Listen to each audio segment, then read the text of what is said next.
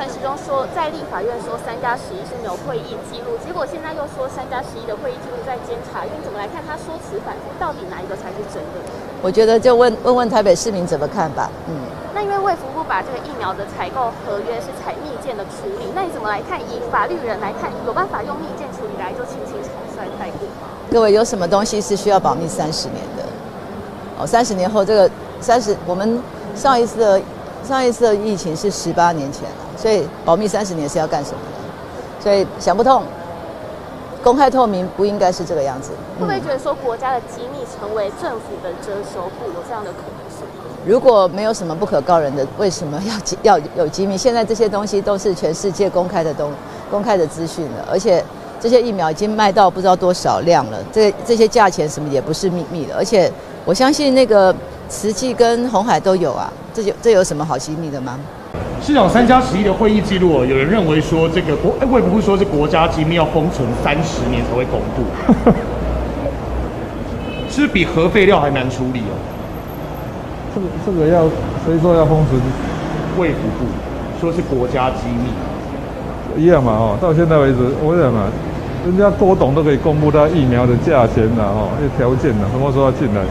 我们我们那个卫福部买的疫苗价格多少了？什么时候进来？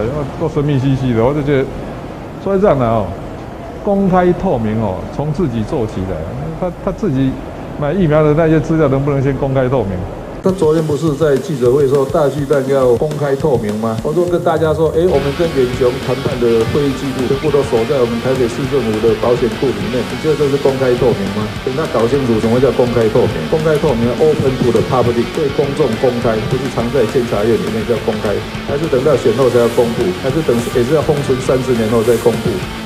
那想问一下哦，关于这个三加十一的这个会议记录啊，那陈时中今天早上有说他的他的资料都在监察院啦，那你怎么看在他这样用一句话就有点简单带过这样的感觉，是不是有点没有交代清楚，也没有办法说这个三，他还说好，谢谢。那我们的活动要，好了，回答你，你刚才说他什么？就是他有提到说三加十一会议记录都在这个监察院里面，然后另外还有就是说高端耗损率是 BNT 的四百八十五倍，怎么看这件事？高端怎样？耗损率，耗损率是 BNT 的四百八十五倍。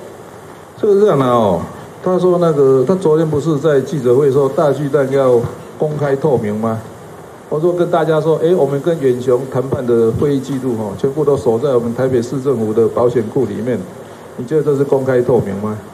他所以他说资料有啊，都在监察院呢。问题是有拿出来公开透明吗？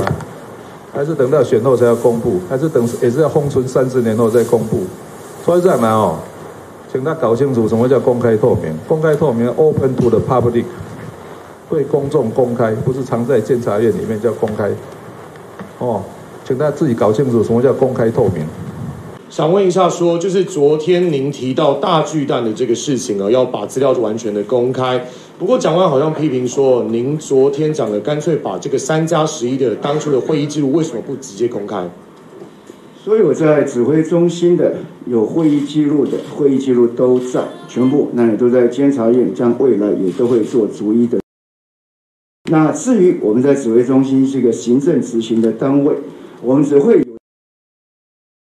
行的情况。那那个状况我也跟立法院、跟监察院都报告过，那就是我主政下，那我是根据大家来呃来呈报情况。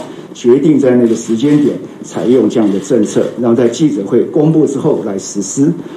那任何这些会议在立法院的时候，我们有开过一些相关的秘密会议，所有的资料、合约，立法委员都检视过。刚刚您说那个三加十一的记录，现在是有到监察院来审视了吗？因为您之前一直说没有会议记录这件事情，所以是监察院已经开始在调查三加十一这个破口了吗？我还是没有办法跟你就讲说三加十一是破口，请不要把它污名化。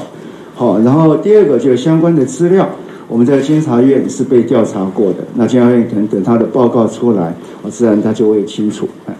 卫务部要求是绝对机密，必须封存三十年，莫名其妙，就是用国家工厂购买的疫苗。我们每一个国民打了疫苗，我们要知道一剂买多少钱啊？莫名其妙叫封存三十年，要到等陈时中一百岁才公布，莫名其妙。我手上是跟卫部要的资料，到八月十号为止，我们采购的总数是六千九百八十一万剂，实际交货是六千零五十八万剂，已经啊交货了百分之八十七。这里边我们也要求审计部去做调查。那有关公开的资讯的部分，公开的资讯的部分，这个是审计部的调查报告，有两方面。他的资料，他的意见几乎都是打脸政府过去所谓的超前部署。有关疫苗采购的部分有三项缺失。第一项，国外疫苗采购契约的内容跟政府的采购契约的范本不一致，尚待演议增订紧急的采购相关规范。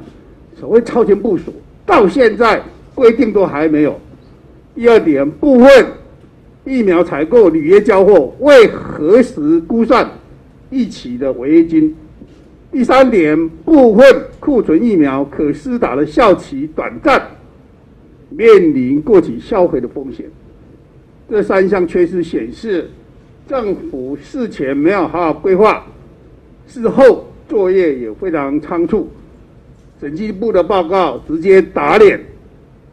这不是我的报告哦，审计部的正式文书哦，直接打脸，所谓超前部署。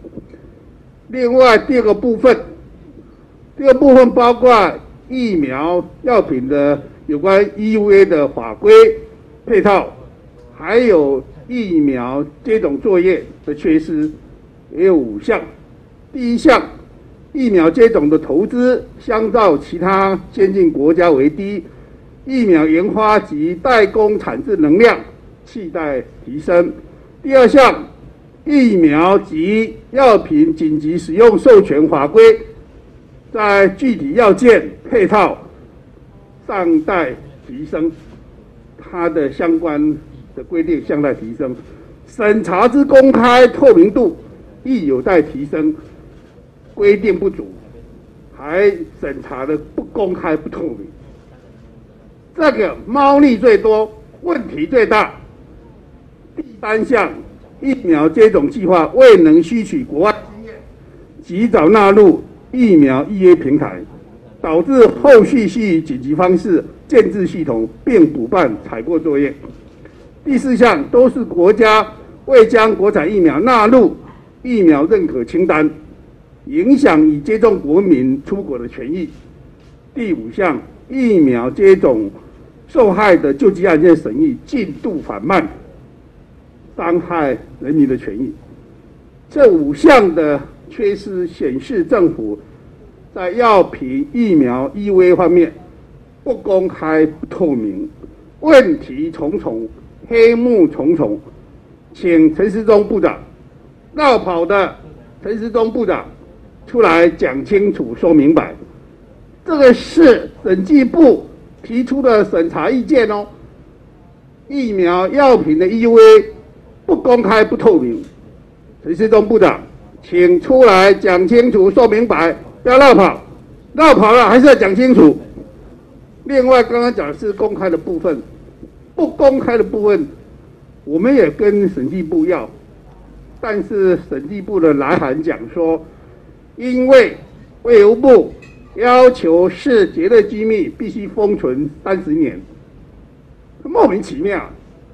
这是用国家公帑购买的疫苗，我们每一个国民打了疫苗，我们要知道一剂买了多少钱啊？